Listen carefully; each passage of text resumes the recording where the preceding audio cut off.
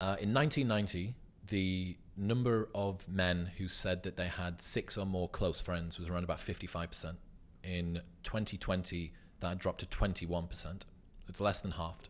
Right? 21% of men say that they have less than six close friends. The number of men who say that they have zero close friends has increased by fivefold from 1990, and it's now at 15%. 15% of men say that they have zero close friends.